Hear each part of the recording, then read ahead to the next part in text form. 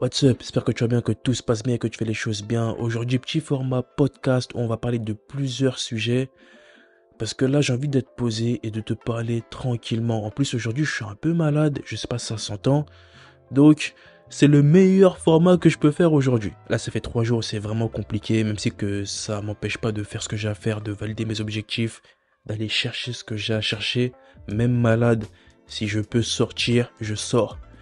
Comme le daron si je peux bouger, c'est que je vais bien. C'est tout. Première bonne nouvelle, il y a un Basic Fit de ma ville qui ouvre 24 heures sur 24. C'est incroyable. Et j'ai même entendu dire que c'est peut-être tous les Basic Fit qui vont être 24 à 24. Et ça, c'est une dinguerie. C'est vraiment une dinguerie, ça va changer beaucoup de choses pour mes entraînements, mais aussi mes vidéos et les contenus que je proposais. Parce que quand tu te filmes à la salle, tu viens à 18h, 19h, 20h ou même dans des heures creuses, 14h et tout, il y a du monde et c'est compliqué. Mais quand tu viens le soir à minuit, 2h, 3h du matin, il y a personne, il y a 2-3 personnes, mais tu fais des vidéos tranquillement. Et les personnes qui te voient filmer à cette heure-là, c'est pas les mêmes personnes qui vont te voir filmer à 16h ou 14h, tu vois ils se disent, ok, il est venu tard pour filmer, je comprends, je vais pas l'embêter. C'est normal. Et ce qui est bien, c'est que le Basic Fit 24-24, c'est un nouveau Basic Fit. C'est pas un ancien. Les nouveaux Basic Fit, leur, euh, leur couleur, c'est gris et noir. C'est pas orange. Et ça, c'est super, c'est un game changer pour l'éclairage dans les salles. Parce que quand tu te filmes l'arrière-plan il est orange et tout, moi j'aime pas, c'est pas esthétique. Ça montre que t'as basic fit et c'est compliqué parce que j'aime pas cette salle, tu vois. Mais là, il y a une autre DA. On est dans du gris, noir, ça rend mieux en vidéo. J'aime beaucoup, j'aime vraiment beaucoup. Je verrai si j'ai des plans comme ça, je pourrais te montrer. Mais je suis très très content. On pourra faire du sale désormais là-bas. Et en restant sur le thème de la salle, je vais couper mon abonnement que j'ai pris à Time Training à Lyon c'est très très cher, hein, c'est un salle privée, full black et tout, c'est magnifique. C'est cher et c'est loin, ok? Je prends le TER pour aller là-bas chaque week-end. Demain j'y vais encore, c'est embêtant. C'est embêtant. On va couper l'abonnement comme ça, je vais gagner des sous, enfin je vais, je vais économiser de l'argent et je vais gagner du temps aussi. Parce que j'irai à Basic Fit le soir, celui qui a 24-24, et je suis bien. Sachant que j'ai un Basic Fit à 3 minutes à pied de chez moi, où je suis tranquille, juste en face de chez moi. Et j'ai l'autre à 25 minutes de marche.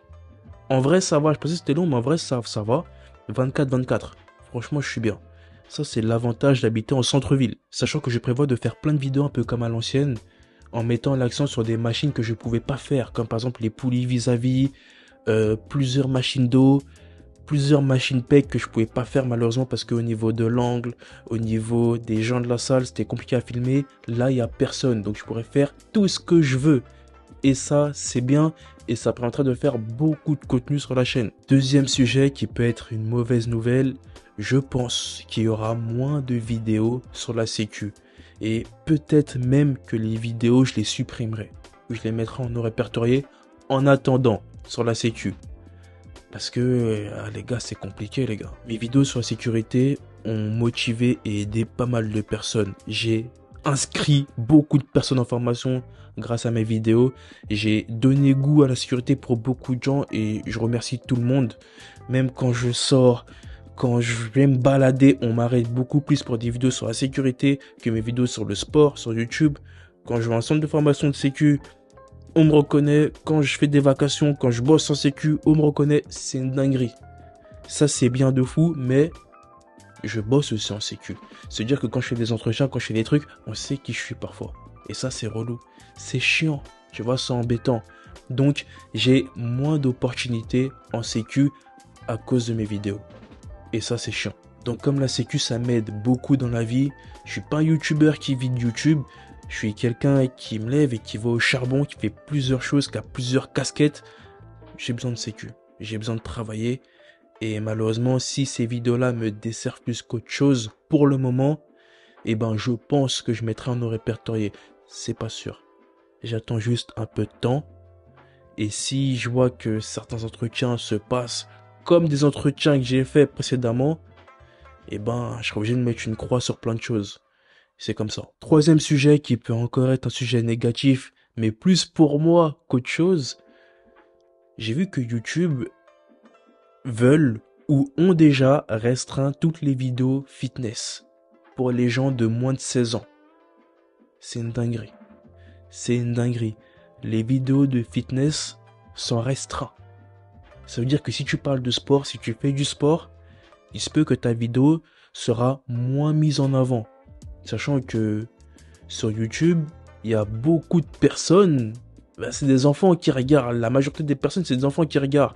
Bien entendu, nous aussi on regarde, mais la majorité, bah, c'est des petits jeunes qui vont à l'école. Ils vont à l'école, ils font ce qu'ils ont à faire.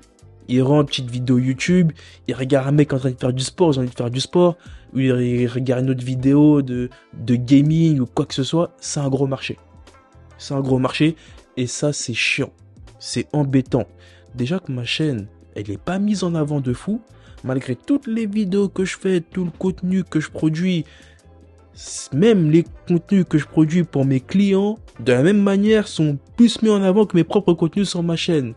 Mais bon, d'un côté, ça m'arrange parce que je travaille encore avec eux. Mais pour mes propres contenus, c'est différent. C'est différent et c'est chiant. C'est chiant, c'est embêtant. Ça fait que je me dis si le fitness, déjà c'était en descente, c'était en chute libre, mais c'est avec la restriction YouTube, c'est terminé, il faudra vraiment que je trouve un autre sujet. Il faudra que je trouve une autre niche, il faudra que je trouve un autre truc de substitution, même si que je vais garder le fitness pour mes vlogs, je vais continuer à montrer en train de m'entraîner parce que pour moi c'est l'essence même de ma chaîne YouTube et c'est moi le fait que je vais à la salle, que je m'entraîne, c'est moi, c'est mon kiff, c'est ma passion. J'aime ça, tu vois. Faut que je trouve un autre contenu. Faut que je trouve une autre niche où je peux vraiment m'investir à fond, beaucoup, autant que le fitness et qui là sera peut-être mis en avant. Et ça permet de rebondir sur le quatrième sujet, la nouvelle niche.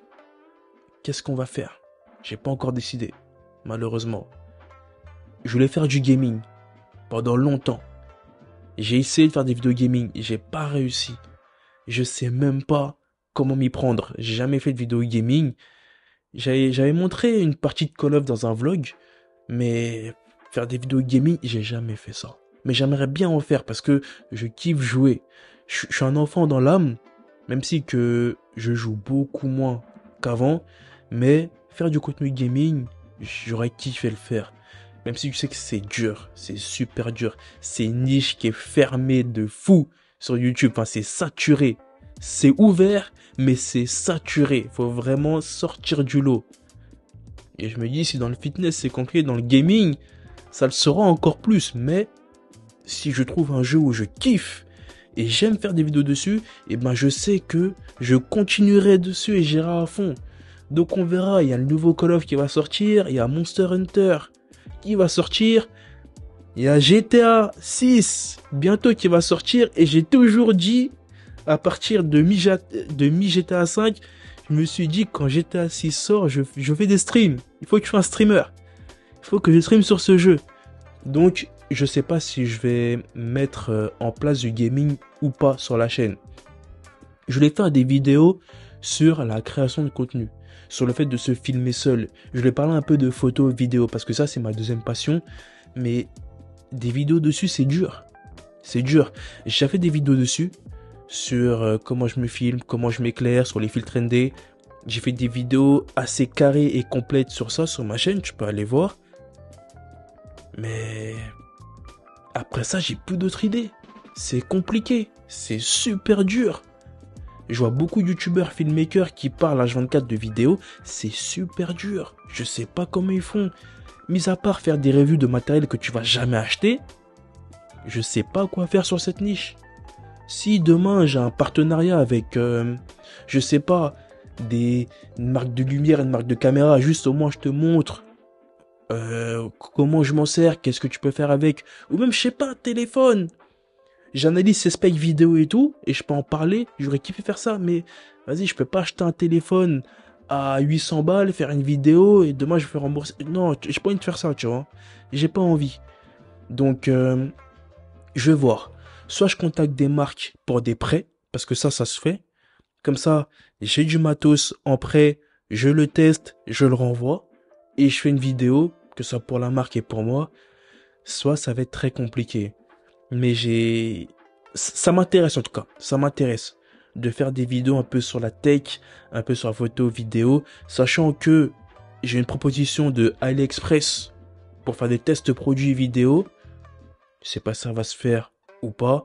Ils m'ont contacté, faut que je les relance parce que là ça fait une semaine. On verra si ça va se faire ou pas.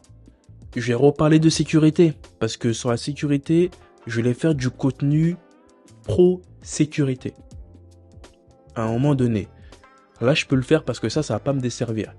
Je vais faire du contenu plus pour t'apprendre à ce que c'est un bon ADS, un bon agent de sécurité, un bon SIAP aussi, un bon agent de sécurité incendie, à t'apprendre ce qu'il faut savoir, à t'apprendre euh, comment faut être si tu veux évoluer, si tu veux être un bon agent, si tu veux être bien vu par ton entreprise. Voilà, je vais t'apprendre toutes ces choses-là qui sont vraiment importantes. Parce que de base, mes vidéos de sécurité, c'est des vidéos pour te dire et te montrer la réalité des choses et du terrain. Beaucoup d'agents passionnés par la sécurité n'ont pas compris mes vidéos. Ils disent ouais non toi ça se voit tu veux que glander, tu veux que tout ça alors que j'ai expliqué plein de fois comment je suis en sécurité et ce que je préfère en sécurité. Mais j'aimerais montrer ma vraie passion pour ce secteur d'activité qui est vraiment bien et qui peut sauver des vies et qui sauve des vies actuellement dont la mienne. Vraiment, c'est grâce à ça que j'ai pu déménager sans encombre, être bien et créer ce studio, être tranquille. Vraiment. En gros, je suis en train de réfléchir à si je te fais des cours. Vraiment des cours sur la sécurité.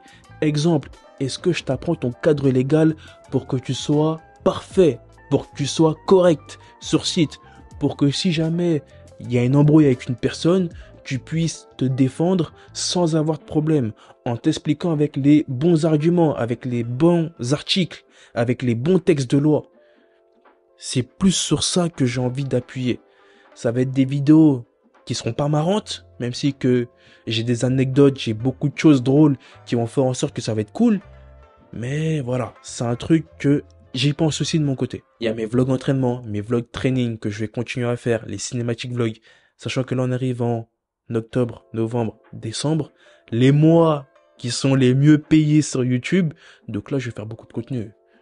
Je vais plus faire des daily vlogs, des entraînements à la salle où je te parle à la salle, mais beaucoup de contenu annexe aussi. Pas peur de le dire, ça paye bien sur YouTube, donc on va balancer du contenu, mais j'ai vraiment envie de faire des cinématiques vlogs. Les cinématiques vlogs, malheureusement, c'est des contenus où si je veux être à l'aise, il faut que chaque contenu soit sponsorisé. Comme ça, je suis tranquille. C'est pas, vas-y, je prends deux semaines à faire une vidéo, mais il n'y a rien sur ma chaîne YouTube, c'est compliqué, ça m'apporte rien je vais pas faire beaucoup de vues, c'est chiant, tu vois. Mais j'aimerais vraiment faire les choses de manière cinématique et cool. Et je sais que ça, c'est avec le temps que je pourrais le faire. Avec le temps, de trouver un partenaire de longue date. Même si il y a MyProtein qui me soutient énormément. D'ailleurs, si tu as besoin de compléments, mets le code d'âme sur MyProtein. Je vais bientôt te faire une vidéo sur euh, mes un mois sous complément, ce que ça m'a fait et tout.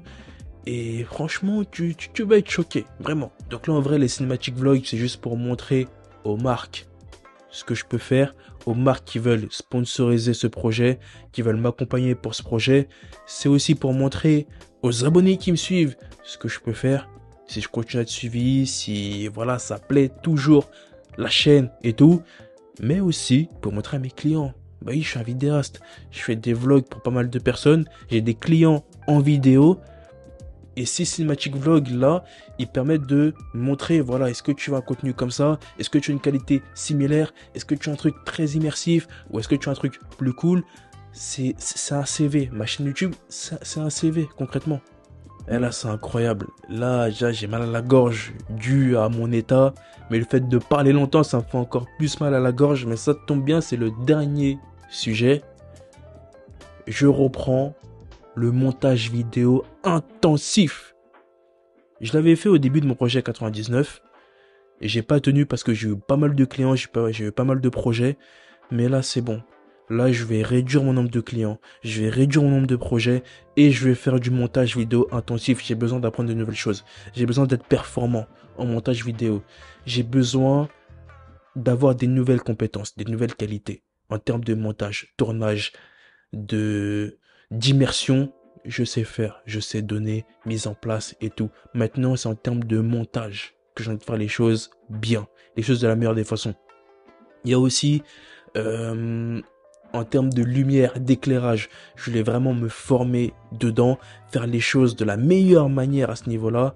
Mais voilà, il me faut un peu plus de lumière, il me faut de l'espace, il me faut des personnes pour jouer les cobayes. Et ça, c'est compliqué, c'est chiant à trouver, mais je vais le trouver.